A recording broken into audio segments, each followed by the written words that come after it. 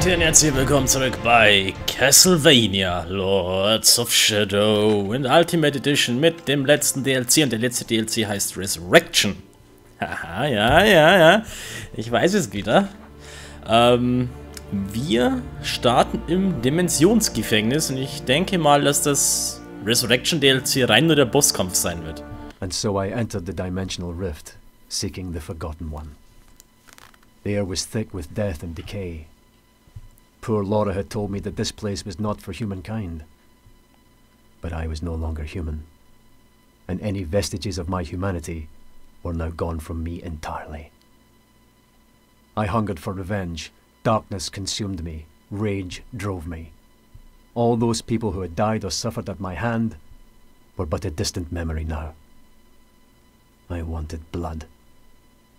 The demon would feel my wrath this night, would feel the bitter taste of defeat at my hand, and I would crush his soul to dust beneath my feet. The terrible path of my destiny was now laid before me, and with absolute clarity of mind, I walked that path paved with the corpses of my enemies and friends alike with relish.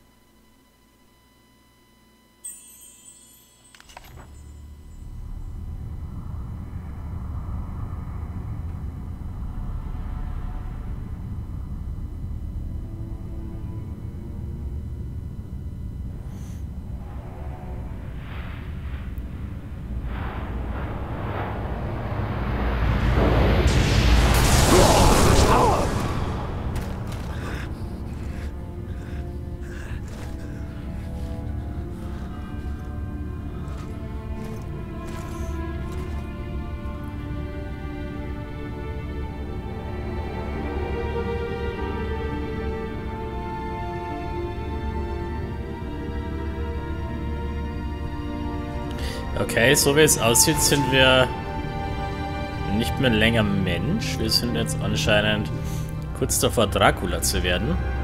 War ein bisschen seltsam, dass wir, obwohl er jetzt gesagt hat, er braucht Blut, immer noch den normalen grünen Lebensbalken haben. Und keine Blutanzeige wie mit Laura. Aber gut, werden wir sehen. Ich habe heute auch gesehen, dass die ersten Reviews zu Lords of Shadow 2 online gegangen sind und die reichen von 4 von 10 Punkten bis zu 8 von 10 Punkten. Ich denke mal, das ist wieder so eine Sache mit Lord of Shadows.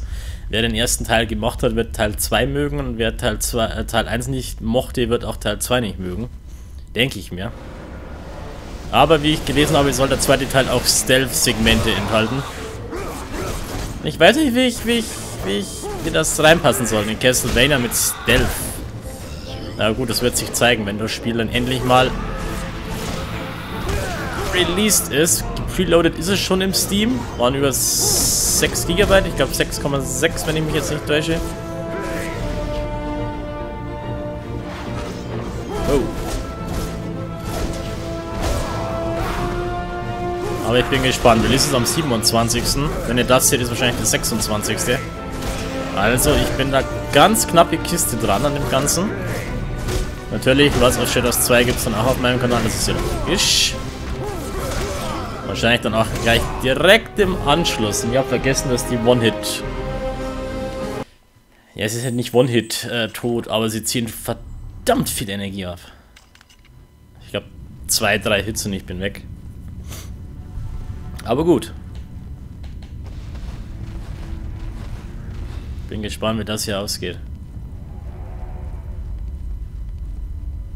Reverie, der DLC war ja nicht so ganz berauschend. Gucken wir mal, wie Resurrection wird.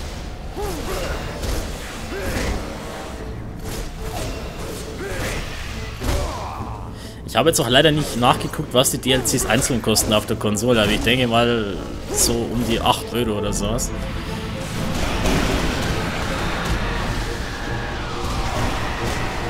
Würde zumindest Sinn ergeben.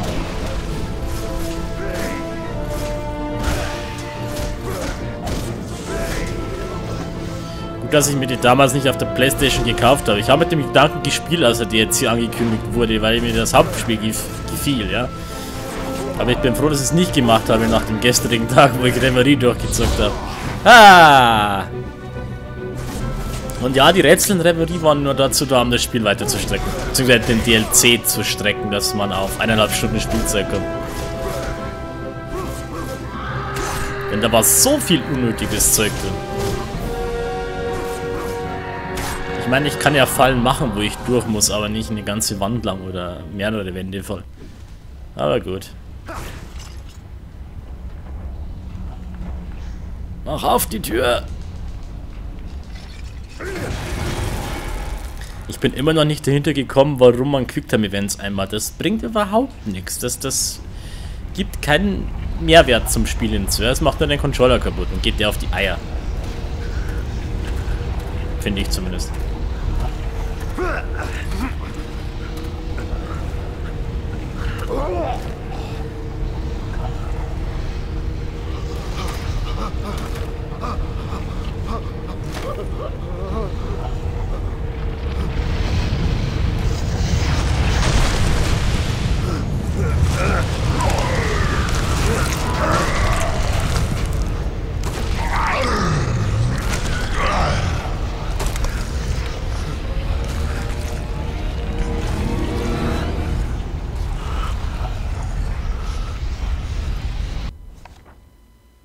Der Vergessene, Größe, Großschwierigkeit hoch.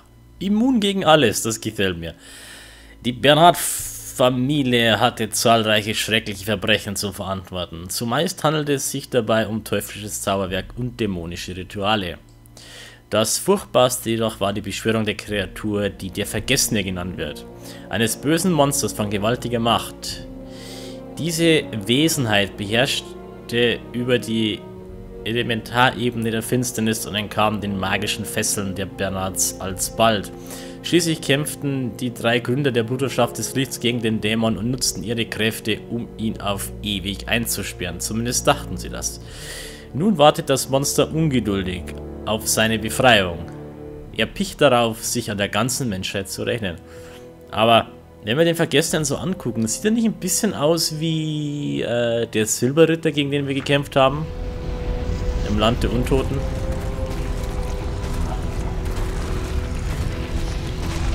Ja, wo geht er denn hin, der Bub? Lass mich raten, ich muss ihm folgen. So groß und furchterregend ist er jetzt gar nicht. Ich finde, er sieht eigentlich mehr normal aus. Eigentlich wie eine wandelnde Rüstung als wie ein Dämon. Finde ich zumindest. Ach, wie konnte ich denn damit abspringen? Ich weiß den Knopf nicht mehr. Der Mann hat deine Anwesenheit gespürt. Der Vergessene sucht nach dir, versteckt dich sofort.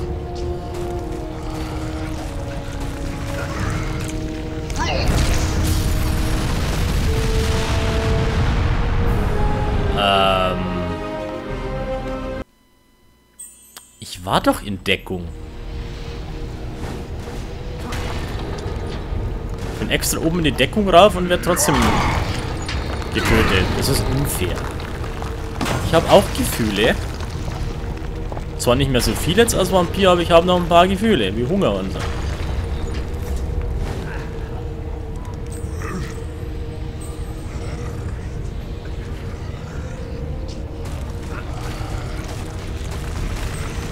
Vergessen hält noch etwas Ausschau. Vergessen ist weg.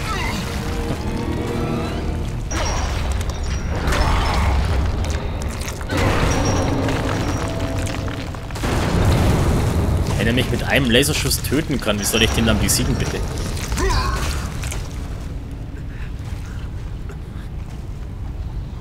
Ist eine interessante Frage, ne? Ich mache mir gerade so meine Gedanken.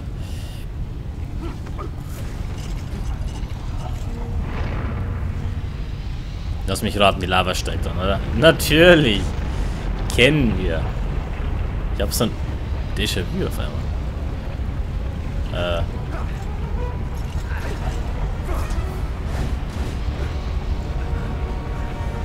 Ich sollte mich vielleicht beeilen. Ah, Quicktime-Event! Nein!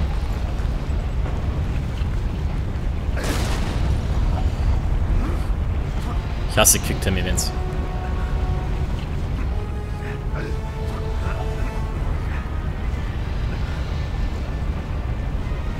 Warum steigt eigentlich immer die Lava an, wenn irgendetwas aus der Lava raussteigt? Das verstehe ich nicht.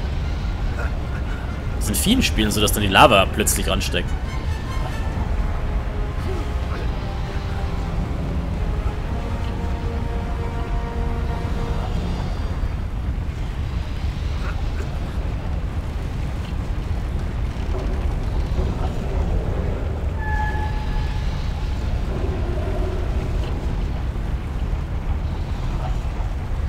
Alles easy, das ist ja gar nicht mal so schwer.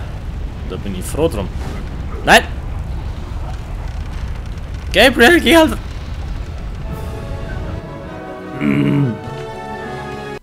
Ich habe die ganze Zeit nach oben gedrückt. Was macht Gabriel? Nö, ich bleib da hängen. Why not?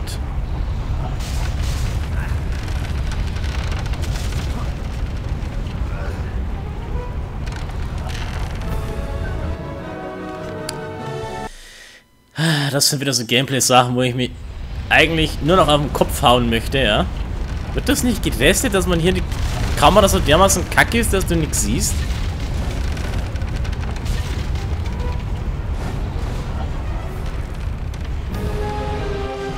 Dann hast du auch noch den Druck von der Lava. Da musst du auch noch wirklich präzise Sprünge machen, ja, dass du dann nicht in das Loch reinfällst und so weiter und so fort. Ist doch noch nicht schlimm genug hier.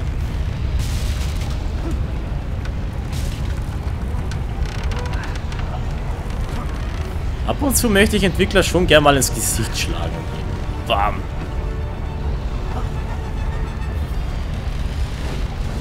Ah, ja, ja. Da, geh doch nach oben! Du Depp! Statt dass sie die Kamera richtig positionieren würden, dass du immer siehst, wo du hingehst. Hey, den habe ich schon ganz vergessen. Hi. Der Mann ist gleich da, was steckt die?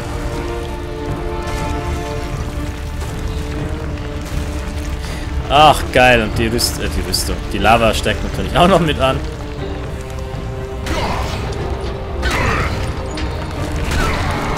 Wollten die die DLCs so, so frustrierend wie möglich machen? Kann das sein?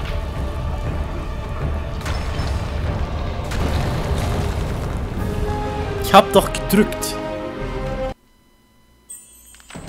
Entwickler müssen endlich lernen, dass es äh, nichts mit Schwierigkeit zu tun habe, wenn ich Sachen unnötig äh,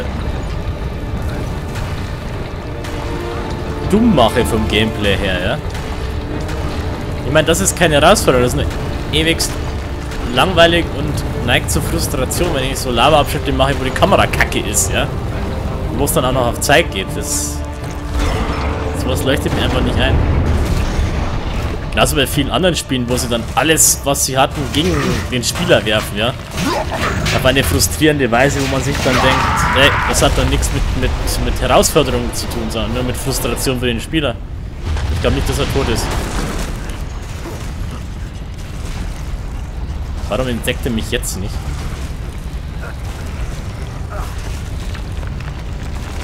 Genauso wie Quicktime-Events. Das ist genau dasselbe. Nein, Pocahontas.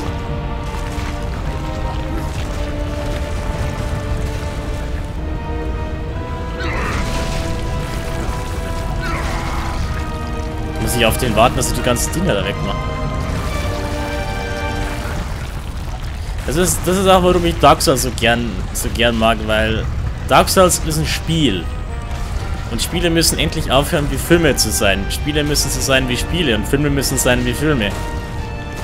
Ganz einfach. Und solange sie das nicht kapieren, dann können wir noch so in die Generation voranschreiten, wenn wir das alte, dumme Hollywood-Gameplay haben. So werden Spiele nie besser.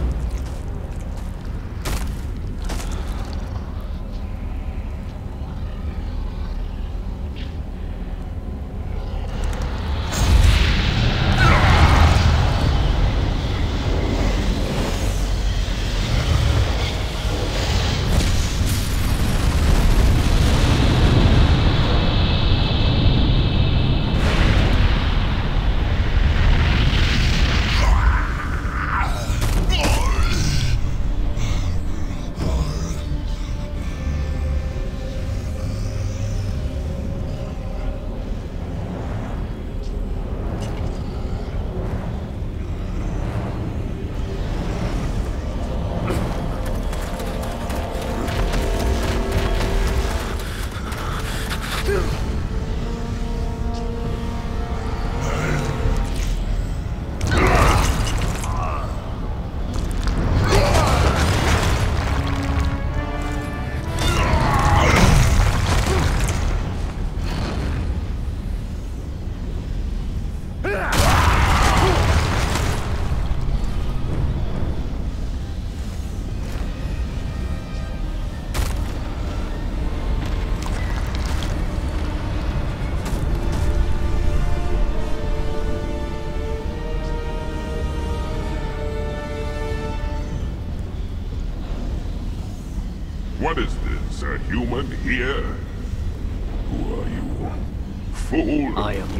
Destroyer, demon. You! Pathetic mortal. Nothing can overcome my power. That outfit. You are a warrior of the Brotherhood, but something about you is different. Your soul is unusual. Mark my words, when I am through with you, you will beg for your miserable life! Is that so? You think you could defeat me now that part of my power is destroying the seal? Hear me, warrior. My power is unlimited. I will strip the living flesh from your body and devour your soul. Enough talk! Have at you! Oh mein Gott. Ich denke mal, ich muss aufs Knie schlagen, oder? Ja, komm. Kann das kennt ihr. Hui! Au, au!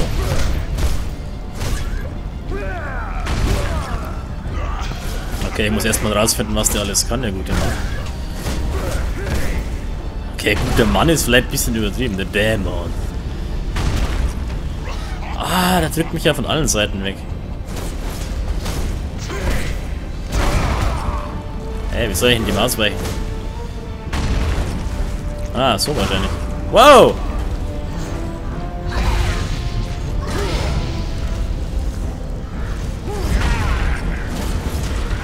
Der hat ja auch eine Peitsche. Aber meine ist länger. Aber.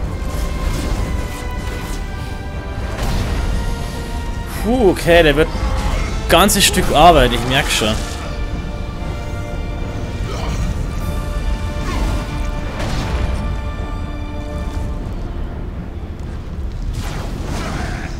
Wow. Wow. Wow.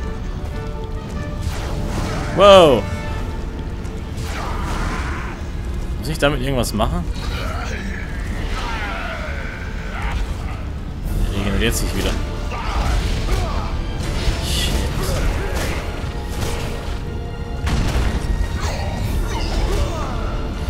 Ich weiß nicht, wie ich seinen Angriffen ausweichen soll. Ich hätte irgendwas mit den Kugeln machen müssen, habe ich so das Gefühl.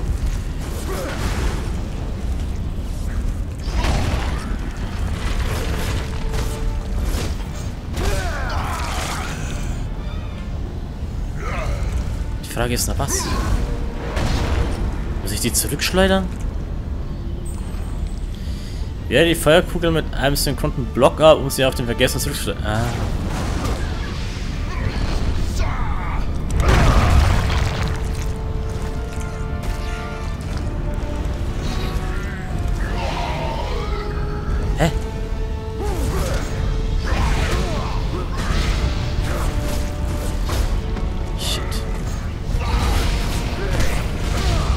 Will nichts sagen, aber das wird nichts.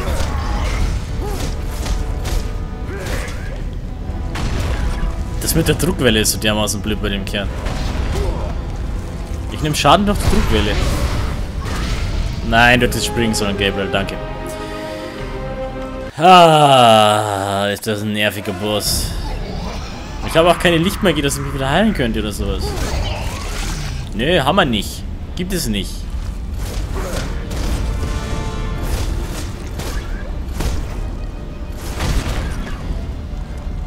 Ja, sobald du siehst, dass er diesen... Ja, danke. Dass er diesen blöden Angriff macht, diese Stampfattacke, ist es eh schon zu spät, dass du wegkommst, da? Ach, Leute. So schnell kannst du gar nicht reagieren.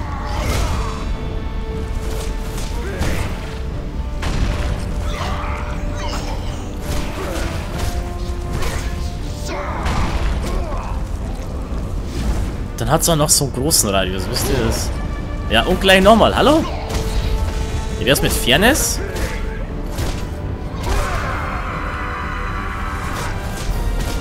Was war das? Jetzt musste kacken, oder was?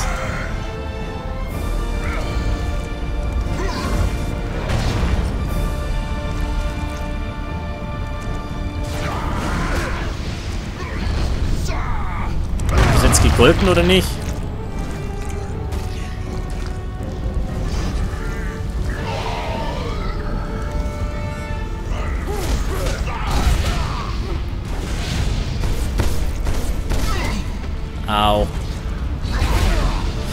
Mein Gott, und dann springst du wieder genau in diesen scheiß Angriff rein. Du weißt immer nie, was er macht. Das ist reine Glückssache.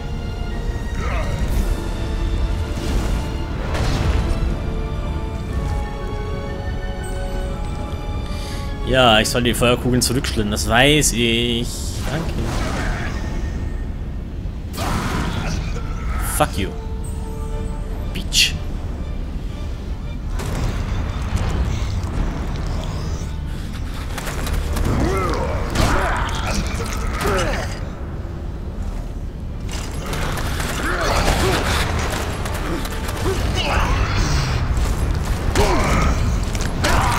Immer diese Quicktime-Events. Wie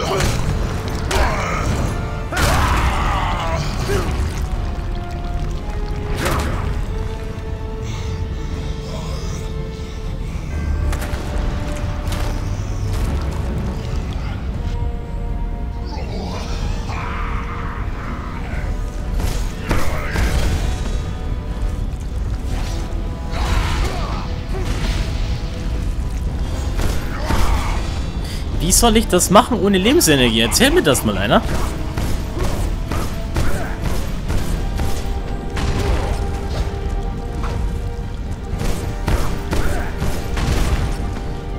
Die Druckwelle erwischt dich in der Luft auch. Das ist so lächerlich.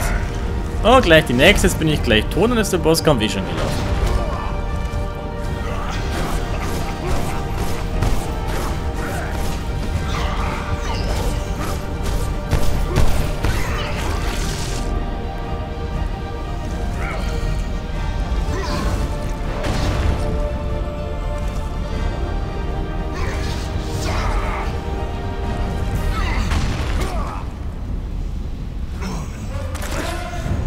Alles eine Druckwelle macht bei dem Pferd. Das ist so nervig.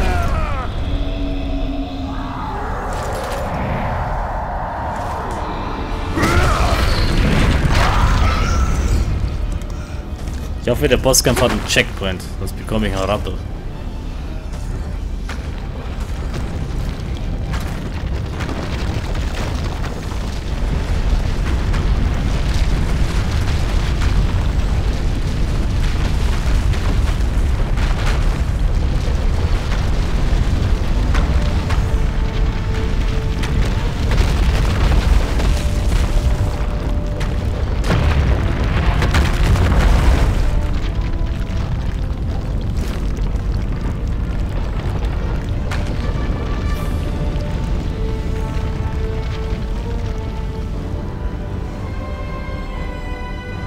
Underestimated you. You are a worthy rival.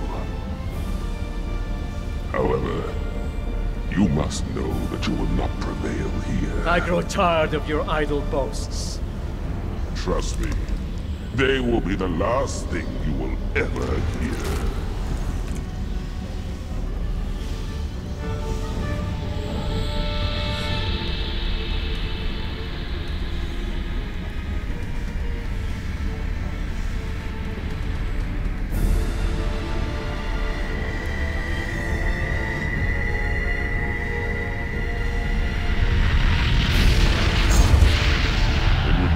Easier to end yourself now, warrior, by your own hand. you will suffer. That I can promise. You will never find peace. In light, no darkness.